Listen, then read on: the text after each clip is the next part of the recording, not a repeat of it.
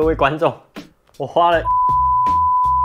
买了这个不反光眼镜。嗨，我是廖子渊，我是一个常年受到眼镜反光所困扰的创作者。就像现在这样，哎，就有点反光了，有没有？一般摄影师爱用的三眼打灯法或者是圆环灯啊，就对我来说完全没有用，因为只要光在我面前，我的眼镜就会直接大反光。像这样，就是你可以看到圆环灯就有一圈在我的眼镜上，那观众绝对会分心出戏在那个圆圈圈。那我常常就是要一直去调灯的位置，或者是限制我的头只能往哪个地方摆，或者是跟别人拍片的时候就要一直问说，请问请问我的眼镜有反光吗？哎，不好意思，我的眼镜它比较容易反光一点，超痛苦的，困扰我超久的。我是有想要解决这个问题的，比如我也考虑过是不是真的要去镭射眼睛，因为之前问阿迪，他也是为了拍片跑去镭射，然后再戴一个无镜片的眼镜，这样的好处就是眼睛会变大，因为我们一般戴眼镜它其实眼睛会变小，但我就是没有那个胆量去做镭射啊，所以我之前呢是先用奇怪的打灯法，比如说先把灯摆的很侧边，因为它这边就会反光嘛，但另外一边就会变超暗，那再打另外一边，可是中间还是会很暗。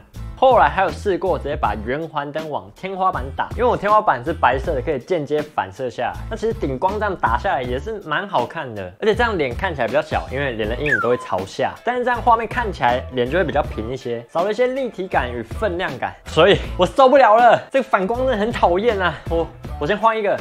我去查了一下市面上到底有没有抗反光的眼镜，还真的有。各位观众，这就是我新配的抗反光眼镜。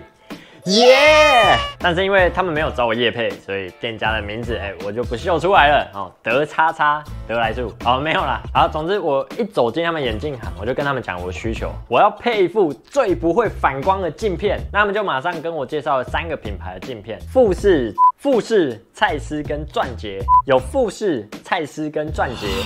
太好了，听他们介绍是都不便宜，因为如果要符合我的需求，就是要选高清镀膜方案，提高九十九帕镜片透光度。不过当下比较差的购买体验是，门市里面有那三种镜片的实体，可以让我直接实测参考，我都只能听店长口头讲解。那店长也是跟我再三强调，不可能做到完全不反光，但是他讲的就很强，他就是说绝对可以减少非常多反光。听到这个，我眼睛都亮了，眼镜也亮了，我就直接问他们说。好，那假设价格不是问题，不反光的排名怎么排？然后他们就说，哦，那会是复式的效果最好，再来钻戒，再来蔡司，哦，蔡司的司没有卷舌。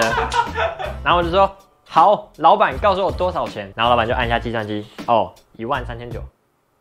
然后我就想说，哦哦，那这副眼镜好像也不太会反光，好，刷吧。对，然后我就刷下去了。我是觉得有解决问题就好，因为想说这本来就是我的工作嘛，就算是一种投资这样子。而且万万没想到的是，我原本以为这个眼镜可能两三天就做好了，那他跟我说要一个礼拜，结果又发生一个问题，就是他们后来传讯息跟我说，哎，日本那边不小心把镜片做爆了，要重做。好，所以我等了快一个礼拜。好了，那我们来看看效果吧。嘿，哎呀啊，哦，好清楚，怎么样？